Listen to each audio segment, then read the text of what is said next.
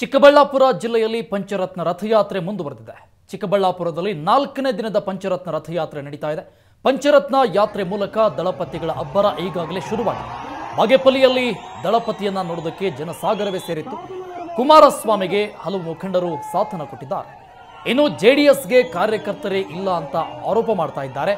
ಆದರೆ ರಾಜ್ಯದ ಆರು ಕೋಟಿ ಜನರೇ ನಮ್ಮ ಪಕ್ಷದ ಕಾರ್ಯಕರ್ತರು ಅಂತ ಬಾಗೇಪಲ್ಲಿಯಲ್ಲಿ ಮಾಜಿ ಸಿಎಂ ಕುಮಾರಸ್ವಾಮಿ ಹೇಳಿಕೆ ಕೊಟ್ಟಿದ್ದಾರೆ. ರಾಜ್ಯದಲ್ಲಿ ಕೆಎಸ್ಆರ್ಟಿಸಿ ನೌಕರರ ಸಮಸ್ಯೆ ಸೇರಿ ಹಲವು ಸಮಸ್ಯೆಗಳಿವೆ.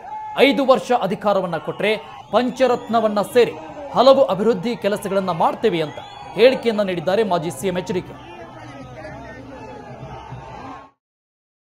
ಪಂಚರತ್ನ ರಥಯಾತ್ರೆ ಕಾರ್ಯಕ್ರಮ ಚಿಕ್ಕಬಳ್ಳಾಪುರ ಜಿಲ್ಲೆಯಲ್ಲಿ ನಾಲ್ಕನೇ ದಿನಕ್ಕೆ ಕಾಲಿಟ್ಟಿರುವಂಥದ್ದು. ಇವತ್ತು ಗೌರಿಬಿದ್ನೂರು ವಿಧಾನಸಭಾ ಕ್ಷೇತ್ರ ವ್ಯಾಪ್ತಿಯಲ್ಲಿ ಪಂಚರತ್ನ ರಥಯಾತ್ರೆ ಯೋಜನೆ ಬರ್ತಾ ಇರುವಂಥದ್ದು. ನೋಡ್ತಾ ಇರ್ಬೋದು ನಮ್ಮ ಜೊತೆ ಈಗ ಮಾತನಾಡೋದಕ್ಕೆ ಖುದ್ದು ಮಾಜಿ ಸಿ ಎಂ ಕುಮಾರಣ್ಣ ಅವರು ಇದ್ದಾರೆ. ಬನ್ನಿ ಅವರೇ ಮಾತಾಡುವಂಥ ಪ್ರಯತ್ನ ಮಾಡೋಣ. ಸರ್, ನಾಲ್ಕನೇ ದಿನಕ್ಕೆ ಪಂಚರತ್ನ ಇದ್ದರೆ ಬರ್ತಿದೆ. ಗೌರಿಬಿದನೂರು ವಿಧಾನಸಭಾ ಕ್ಷೇತ್ರ ವ್ಯಾಪ್ತಿಯಲ್ಲಿ ಇವತ್ತು ಪಂಚರತ್ನ ರಥಯಾತ್ರೆ ನಡೀತಿದೆ. ಸೊ ಸಾಕಷ್ಟು ಜನ ಕಾರ್ಯಕರ್ತರಿದ್ದಾರೆ. ಏನು ಹೇಳ್ತಾರೆ? ಈಗ ಇವತ್ತಿನಿಂದ ಗೌರಿಬಿದ್ದೂರಿನಲ್ಲಿ ಈ ರಥಯಾತ್ರೆಗೆ ಚಾಲನೆಯನ್ನು ಕೊಟ್ಟಿದ್ದೇವೆ. ಇವತ್ತು ಗೌರಿಬಿದ್ದೂರಿನ ಆದಿನಾರಾಯಣ ಧಾರ್ಮಿಕ ಕ್ಷೇತ್ರ ಅತ್ಯಂತ ಪವಿತ್ರವಾದಂಥ ಐದು ನಾರಾಯಣ ಕ್ಷೇತ್ರಗಳಲ್ಲಿ ಆದಿನಾರಾಯಣ ಕ್ಷೇತ್ರ ಪವಿತ್ರವಾದಂಥ ಒಂದು ಇತಿಹಾಸ ಇರತಕ್ಕಂಥ ಈ ಒಂದು ದೇವಸ್ಥಾನದ ಸನ್ನಿಧಾನದಿಂದ ಪೂಜಾ ಕಾರ್ಯ ಮುಗಿಸಿ ಈಗೇನು ಹೊರಟಿದ್ದೇವೆ. ಗೌರಿಬಿದನೂರಿನಲ್ಲೂ ಕಾರ್ಯಕರ್ತರು ಜನತೆಯ ಒಂದು ಅಭಿಮಾನದ ಅಲೆ ನಾನು ಗೌರಿಬಿದ್ನೂರಿಗೆ ಪ್ರವೇಶ ಮಾಡ್ತಿದ್ದಾಗೆ ಕಾಣ್ತಾ ಇದ್ದೇವೆ. ಸರ್ ಈಗ ಗೌರಿಬಿದ್ನೂರು ಗೌರಿಬಿದನೂರು ಕೂಡ ಕಳೆದ ಬಾರಿ ಕೆಲವೇ ಮತಗಳ ಅಂತರದಿಂದ ನರಸಿಂಹಮೂರ್ತಿ ಅವರು ಸೋತಿದ್ರು. ಈ ಒಂದು ಯಾವ ರೀತಿಯಾದಂಥ ಟಾನಿಕ್ ಕೊಡ್ತಾರೆ ಕಾರ್ಯಕರ್ತರಿಗೆ ಈ ಬಾರಿ ಚುನಾವಣೆ ಎದುರಿಸೋದಕ್ಕೆ ಇಪ್ಪತ್ತ್ಮೂರರಲ್ಲಿ ಈ ಬಾರಿ ಕಳೆದ ಬಾರಿಯ ಚುನಾವಣೆಯಲ್ಲಿ ಕೇವಲ ಗೆಲುವಿನ ಸಮೀಪಕ್ಕೆ ಬಂದು ಸೋತಿದ್ದಾರೆ. ನರಸಿಂಹಮೂರ್ತಿ ಅವರಿಗೆ ಎಲ್ಲ ರೀತಿಯಲ್ಲಿ ಪಕ್ಷದ ಕಾರ್ಯಕರ್ತರ ಬೆಂಬಲ ಇದೆ. ಇಲ್ಲಿ ನಮ್ಮ ಪಕ್ಷದ ಕ, ನಿಷ್ಠಾವಂತ ಕಾರ್ಯಕರ್ತರಿದ್ದಾರೆ ಮತದಾರರು ಇದ್ದಾರೆ.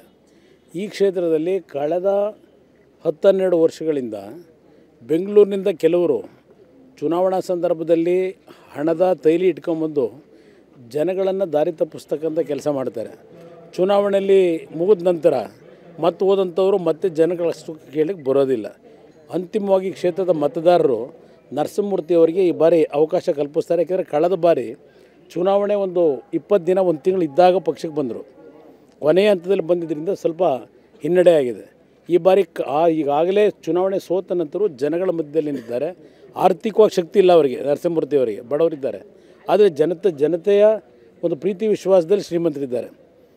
ಅದರಿಂದ ಇವತ್ತು ಜನತೆಯ ಪ್ರೀತಿ ವಿಶ್ವಾಸದಲ್ಲಿ ನರಸಿಂಹಮೂರ್ತಿಯವರು ಈ ಬಾರಿ ಜನರ ಆಶೀರ್ವಾದದೊಂದಿಗೆ ವಿಜಯವನ್ನು ಸಾಧಿಸ್ತಾರೆ ಅಂತಕ್ಕಂಥ ನಂಬಿಕೆ ಇದೆ. Sir one two three mission ಅನ್ನ ಹೊಂದ್ಕೊಂಡಿದ್ದೀರಾ?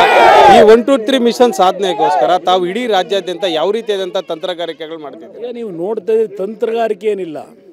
ಜನಗಳ ಸಮೀಪಕ್ಕೆ ಹೋಗ್ತಾ ಇದ್ದೇವೆ. ಜನಗಳಿಗೆ ನಮ್ಮ ಕಾರ್ಯಕ್ರಮಗಳ ಬಗ್ಗೆ ಹೇಳ್ತಾ ಇದ್ದೇನೆ. ಯಾವುದೇ ರೀತಿ ಕುತಂತ್ರದ ತಂತ್ರದ ರಾಜಕಾರಣ ಯಾವುದೂ ಇಲ್ಲ. ಜನತೆಯ ಕಷ್ಟ ಸುಖಗಳಿಗೆ ಒಂದು ಬಾರಿ ಅವಕಾಶ ಕೊಟ್ಟರೆ ಯಾವ ರೀತಿಯಲ್ಲಿ ಈ ಜನರ ಸಮಸ್ಯೆಗಳಿದೆ ಇದಕ್ಕೆ ಶಾಶ್ವತ ಪರಿಹಾರ ಕೊಡ್ತೀವಿ ಅಂತಕ್ಕಂಥ ಇಶ್ಯೂ ಇಟ್ಕೊಂಡು ಹೊರಟಿದ್ದೇನೆ. ಇದಿಷ್ಟು ಮಾಜಿ ಸಿ ಎಂ ಕುಮಾರ್ ಸಾವಿರ ಮಾತು. ಗೌರಿಬಿದ್ನೂರಿಂದ ಕ್ಯಾಮರಾಮನ್ ಅಮರೇಶ್ ಜೊತೆ ರವಿಕುಮಾರ್ ಏಷ್ಯಾನೆಟ್ ಸುವರ್ಣ ನ್ಯೂಸ್.